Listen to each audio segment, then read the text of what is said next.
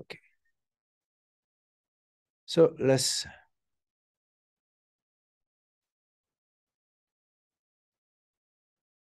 Okay. So incomplete uh okay.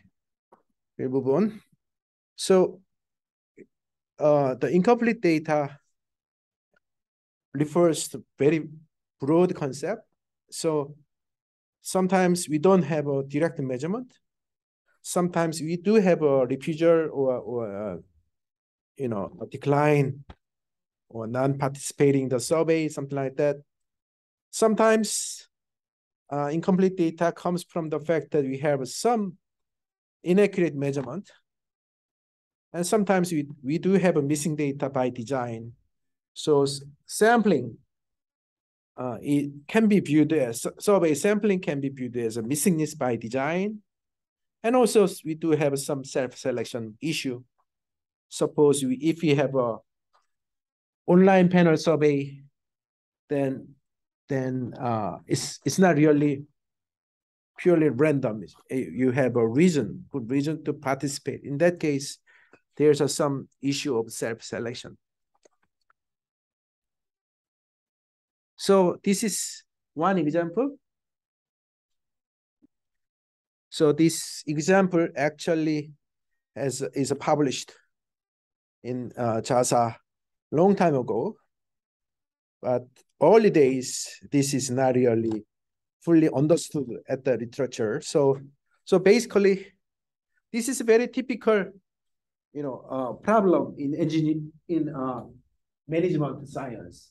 So the client wants to study the uh, what factors are important, what factors are important for for the managers in terms of the role performance. And the factor could be knowledge and value orientation, role satisfaction, past training. Okay. So that so you can see that these are actually concept, right? This is uh, a concept. It's not really, you cannot really measure knowledge directly, right? You it, Knowledge is a concept, but you cannot really know, there's no direct way measuring one's knowledge, but you can kind of get that information through questions, right? So, so knowledge is a, is a abstract concept, but still we want to use uh, build some model, right? Using this concept as the covariate and and and give some meaningful, you know, interpretation, right? Analysis. So that is very uh, typical problem, actually. The problem is that the main only problem is that we don't really measure uh, have a direct measurement we don't know x1, x2, x3, x4 directly, but here, yeah. Uh, sorry. So here you can see number of items. The item means survey questions. Okay. So you, you, we have 26 survey questions to measure the knowledge. Okay, we have 30 questions for value orientation. So, so these questions are, are very carefully uh, designed to measure, right? To measure uh, to make sure that uh, the uh, the respondent understand the concept clearly and and provide the uh, reasonable measure for for uh, these uh, concepts. So you can see that the past training, we only have one question. So how many years of education did you get, right? I mean, like uh, 12 year, it's just a high school. Six, right? Six and, and six high school. And then 16 year is college education. Something like that. You, you can so the years of education, and that's it, right? I mean, that's the only question in that case, so you can, what is the meaning, what would be the meaning of this reliability? That is actually correlation, okay, among these different items. You know what I mean? I mean R square. So, so the higher, that is why we have a, a one here for one, one item because just one, right? And so there's no real variability. We, we have, but if you have two questions, right? So you can ask years of education. You can ask actually slightly different question for the same concept, years of education, and and then you know multi choice, uh, high school education, college education, something like that, right? And then you want to make sure that these two questions are consistent to each other. So, so that is a way. So that basically gives the how how stable. I mean, how how much variable are there between the measurement. And so, so that is the uh, key component. So you can see that uh, if his reliability is low, then that means the the, the measurement. So people, so this implies what? Uh, among the 26 questions, sometimes we get high score for one item and but not not high score in the low item, right? I mean the, the other item, something like that. So so that gives actually information about how accurately you can trust the mean. So, um, in other words, you will, end of the day, you will construct x1, x2, x3, x4, y. And then one, two, 98, because we have a 98, right? And so we have a single number for each set. The point is that this number has an error, measurement error, which is reflected here. So then, then, uh, then the point of this paper basically is that you need to reflect, take into account the uncertainty in the measurement of x variable in order to make a correct inference. So that is the basic uh, uh, idea behind this paper. So if you naively apply the, the regression, then you will get this uh, analysis. You get the parenthesis here is the standard error. But the correct one, reflecting that uncertainty, should be this one. So that is the uh, outcome. I mean, that is the correct result. So you can see, for example, if you naively apply uh, ordinary least square, the effect of past education is very significant, right? So this one divided by this one gives a t value, right?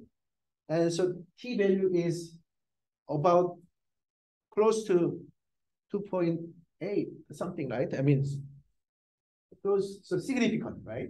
But here is less significant, right? So so that so that means this the ignoring this uncertainty will maybe uh, give a misleading result. So that is the uh, that is uh, quite uh, important, especially in the psychometrics, the psychology, psychometrics. They all, you know, uh, many papers deals with this kind of problem. Okay, education and Okay. So data. So there are two two different type of data. One one type is uh, obtained by human. The other one is obtained by non-human, right? So humans are very subtle, usually, right? You, you humans are very subtle. So so sometimes people lie, right? And sometimes even the blood pressure you know, very high variability. In the morning and, and evening, they are different from the same person. So that means what? That means it's it's uh, uh this kind of a, you know measurement error problem uh, uh, will be involved. And so if you do not understand the uh, that uh, intrinsic variability in the measurement, in uncertainty in the measurement, you may end up getting a wrong answer, right? So that that is uh, important. I mean, for the physical measurement, no, right? You, if you use a physical experiment and measure, measure the weight of certain metal or some, whatever, they don't change. I mean, you, you, whether you measure it in the morning, whether you measure it in the evening, same, right? Doesn't change. So the physical measurement and experiment are relatively simple because they, the measurement errors are negligible usually. But as but humans are not. So that is, I mean, that's one part of the problem. Uh, this is another typical uh, example of the missing data. So, so you know, this is uh, medical, you know, hospital data basically. So you you have a patient coming in, and uh, you know, the hospital clinics measures many different things, right? So, so as asthma relief, group and symptom and reading and age, gender, allergy, something. Like so all all the variables are believed to be important to to the this kind of analysis. Uh, the problem is the end. What do you mean by that? That means the effective respondent for this particular item. Uh, this 154, 154, okay. And so they are not, uh, so that's maybe okay, but turns out that this is the actual realization of the uh, missingness. So, so the total number of, the total sample size is 154, okay. So among the 154, you have many variables. Those who answered all the questions are only 19 out of 154. Okay. So if you use R or SAS, the default option is remove partial missing. So if you so you you input you read this data with, with this sample size and analyze it in R, not care about not caring about the missing data, the, the computation behind the R programming, the default default option is remove all the partial missing data. So so so you end up just using the 19 samples only for this analysis, which is only 12%. So that there's a huge, huge loss of information, right? So usually medical data, you, you have uh, some pharmacy, your drug, uh, uh, you have a, suppose you have a, uh, you know, certain, you know, product, and you want to see the, uh, you know, uh, effect, right? And then you need to pay incentive right? You so suppose we, we give hundred dollar for each patient. So the total cost is 154 times 100, right? So 15K. So you spend 15K dollar and end up using, throwing away all, the, all this money and using only 19. That's a, a Uh, if you use that and report it, then your boss will be very angry, right? because you're not really doing a good job in utilizing all the uh, information. So, so that is actually quite a practically important issue. And so, so here's a basically you can later we learn how to analyze this kind of data. And this is the so correct result, correct analysis result. This is uh, a complete case. Complete case means the default option, removing all the all the partial response. So see, you you can compare the standard error. So if you compare the column of standard error for this analysis to the column of the standard error for ML analysis, you can see that the standard errors are much smaller, right? Which makes sense because we use, so here these standard errors are based on 19, oh, 19 or 19. Sample size of 19. While this one, at least more than 19, right? Because it uses all possible. It's not really clear what is the exact sample size, but uh, because somewhere between 19 and, and 154. Anyway, so we'll, uh, this is critically important problem, so we'll uh, study this uh, very, uh, you know, we'll study this in a couple of weeks later. I have uh, some example, uh, real real consulting example that I I did. Uh, so someone in Korea, statistical statistics Korea, contacted me to to solve this problem. So so they have a it's a it's a national survey, and they are very interested in estimating the employment status. Okay, so the employment has a three category: employed, unemployed, and not in labor force. So not in labor force means, for example, housewife, right? So they are they are not really unemployed, right? They work, but it's not really paid job, right? So, so uh, something like that. So employed, so three categories. Anyway, so how how they collect the data is this: you select sample, sample of household, and visit. Okay, and then nobody answer, then leave a short message, right? I mean, like uh, post it, write down, okay, uh, we we are from Statistics Korea, and we wish to have, you know, get some uh, information from you.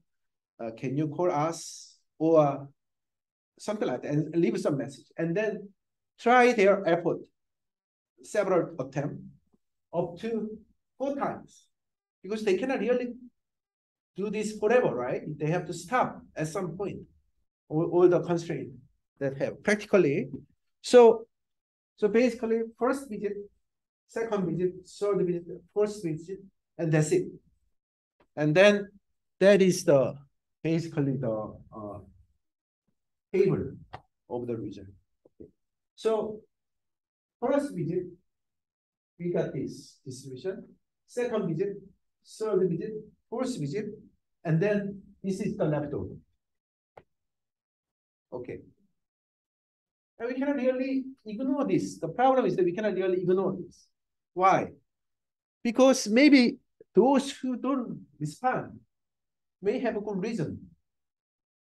Okay, where, where, why? Because it's a little bit sensitive question, right? Employed, are you employed? What I mean, have you, it's not really are you, have you worked in the last week? Have you worked uh, more than one hour something? I mean, two hour, because employed, there's a several categories like uh, how many hours did you work, right? Suppose you you worked 10 hours last week and get paid for 10 hours. Is that can be classified as employed or unemployed? It is employed. But uh, so there's a, actually it's, it's a very it's not really trivial problem, but uh, there's a, uh, some good categorization. So this is the basically the summary. So what is interesting about this result?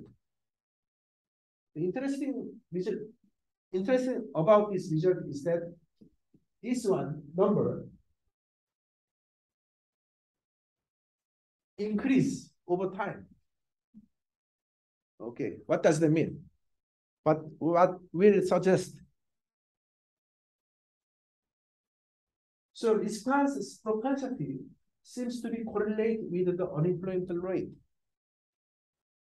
which is kind of makes sense, right? Because well, not I don't want to tell, right? I mean, if you are unemployed, then you feel shame. I mean, you are not really proud of being un unemployed, right? I mean, so so maybe there the there's some reason for not uh, responding. So so then question is how you actually you know uh, do the analysis on make understand. So that is uh, that's also part of the uh, topic that we are going to address. And this is another another real data example that I I worked on. So this is also interesting. So this is a survey data. Okay, you in the survey, you ask questions a lot of things, right? You ask a lot, lot of things. And one of the question is your height and weight. Height and weight. The survey. And then for some reason, the investigators in the survey becomes interested in uh, the, the how much measurement error are there in this survey question. So, so they actually select a random sample. So among the you know 9,800 original sample, they selected 500 randomly, and then measure do the physical measurement. Okay.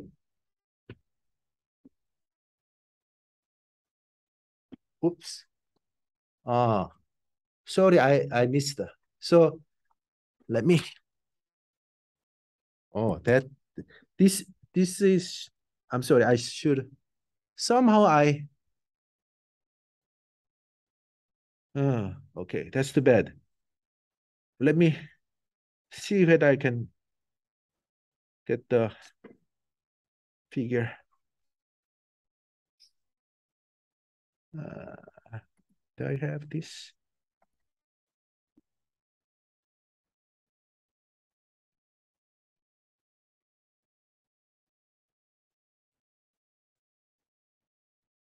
Yeah, sorry, I, I missed this part. I will update it. Uh, okay. What does that mean? So this is reported survey. And this is what? The physical measurement. Okay. So if so this is the 45 degree. I mean, so the weight, there's some variation. So for example, this guy, it's not really honest, right? He, uh, this guy has a, the true weight is this one, but he exaggerated. Uh, the height is also more interesting because the height, uh, it go all the point are, are above the line. what does that mean? Well, I, I don't know. I, I, so ask yourself, did you always, always, always report your height accurately? Uh, I'm not. I'm a little bit exaggerated. That's reflected here. So anyway. Okay. Yeah. So this is the outline.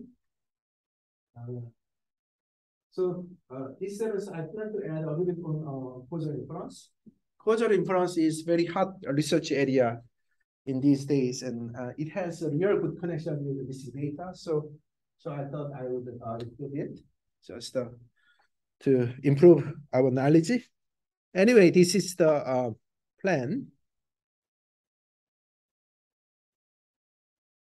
Okay. Now I'm going to move on to